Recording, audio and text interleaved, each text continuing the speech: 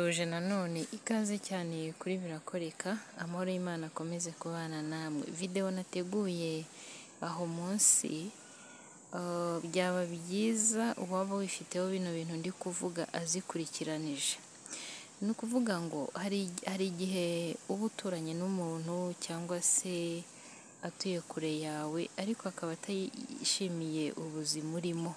Nakajya ahora guteza utuntu dutandukanye. Erega ubu ngubu abantu abenshi banize gutongera. Umuntu aragutongera muhuye gutya kwa kundi usuhuza umuntu uti mwaramutse gutya gusa. Waba ugiye wenda n'urugero muri gahunda runaka ukabona ntibikunze ibya ya gahunda nyine wari ugiyemo kandi ntako utari wagize ngo wuzuze ibiri bugufashe kuba ya gahunda yawe yacamo. Niba ari nk'akazi ugiye gusaba ukaza kugira ubwoba bwinshi cyane ugasanga utsinzwe ibyo bakubajije kandi atari uko ufite intege nke wenda mu misubirize cyangwa mu mitekerereze ahubwo ari ukubera twa tuntu yagukozeho. Umutongero urafata. Kandi ni ibintu bidasaba wenda ngo ajye gukora ibintu byinshi. Oya uzi ko umuntu ashobora kugutongera kuno abantu bahura bakumburanye bagahoberana. Aba ari kugutongera kuno umuntu ashobora kuba ari kukubwira ngo yo ngo disi ngo bisigaye bimeze gutya bari kugutongera mu mutima. Imitongero rero ntabwo wavuga ngo kanaka ngo twahuye ngo nta kintu yigeze ankora n'abanyamacenga ntibabuze ukuntu babikora. Ugasanga ka kazi urakabuze kubera iki kubera cya kintu. Erega kubera ishyari nta kintu umuntu ugufitiye ishyari atagukorera. None se nyine niba ako kazi adashaka kukajyaho akora ibishoboka byose bikanga ariko burya nubwo umuntu yagukerereza icyo Imana yakugeneye ntaho kijya gusa hari igihe ukigeraho yewe warazengurutse inzira zose zishoboka utangiye kunanirwa. Niba ufite ibintu nk'ibi rero nk'uko nabibabwiye habanza hagakorwa videwo iya mbere izi nyine nateguye uyu munsi iyi ni iya kabiri. Iyi ngiyi rero noneho ugatangira kwiyumva ukuntu. Ugatangira kumva nawe utagishaka kujya guhura n'abantu. Imitongero yabaye myinshi uriyanga icyangiro kikubaho. Murabona ukuntu karabasase iba imeze ku nzu. Bikwihomaho. Batongera umunsi wa mbere bikwihomaho uwa kabiri bikwihomaho.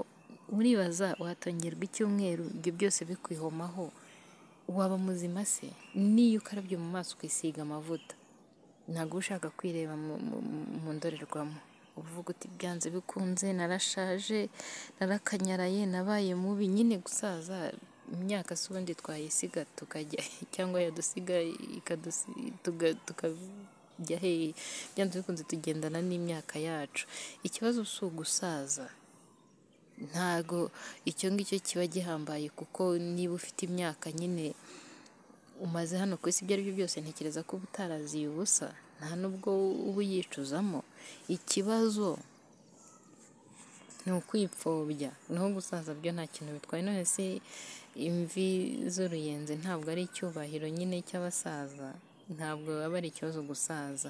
Ahubwo ni bya bindi biza bikanakwiyomekaho bikanakumvisha ko ushaje kandi ufite imyaka makumyabiri n'itanu. Aba ari ikibazo kino kintu.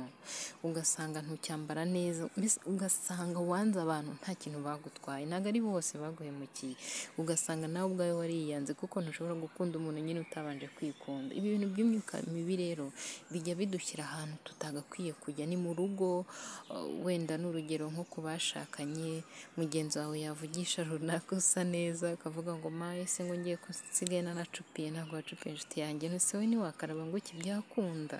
Wakisiga utuvuta wakambara ukaberwa? Banza wihumanure rero ibyo wikureho ibyo bintu biri kukwereka ko maye abandi nshenge se nanjye oya. Ayo magambo yikuremo abo ni abadayimoni bashaka kugusenyera oya. Icyo cyangiro cyikureho iyo urangije gukora ibyo muri iyo videwo ya mbere rero uhita ufata gahunda y'iminsi irindwi. Ni ukuvuga ngo bibaye byiza byakorwa iminsi makumyabiri n'umwe hamwe na videwo ngiye kubategurira ya gatatu ikurikiraho twagiye. Ufata amazi yo gukaraba si ngombwa ko ashyushywa ushobora kuyafata habura nk'iminota nka cumi n'itanu ngo ukarabe noneho ugashyiramo umunyu wo mu nyanja. Ikigero cyo maze kukibabwira inshuro nyinshi keretse wenda bashyashya? Ariko namwe musubire muri videwo za mbere mureta mwumva ibyo ari byo. Ntabwo bafata ikiko ngo bashyire mu mazi yo gukaraba. Nyaboneka bisubiremo ibi nabivuze inshuro nyinshi. Umunyu mwinshi wangiza uruhu. Umunyu ni mwiza n'ubusanzwe utuma uruhu ruba rwiza ariko wakoreshejwe neza nyabuneka njye mbisubiramo. Iyo ari amazi make nka litiro ushyiramo utubuye dutatu tw'umunyu wo mu nyanja wabona ari duto ugashyiramo turindwi. Duto cyane nta byo kuyoza ikiyiko. Wabona wenda ari nk'ayo gukaraba mu ndobo cyangwa mu base ugashyiramo uhwanye n'uko ayo mazi angana. Hanyuma ugakamuriramo n'indimu bibaye byiza ushobora gufata nk'eshatu ukazikamuriramo. Nshuti. Ukarekaho iminota mirongo itatu y'amazi yaba umunyu ugashonga n'indimu n'umutobe w'indimu ugakora. Aya mazi ukaza kuyimenaho warangije gukaraba bisanzwe. Wikuraho iyo myanda yose nshuti. Uzi ko wongera ukireba ukabona ukavuga nari narihejeje iriya mu mwobo nshaka iki koko? Umwanzi ntakagushyire mu mwobo ngo nawe wikuremo reka da urarabagirana. Yego mwakoze kubana nanjye ukunze ibyo mbagezaho kora subscribe like na comment sharing no ku bandi. Ndabakunda cyane imana ibandindire.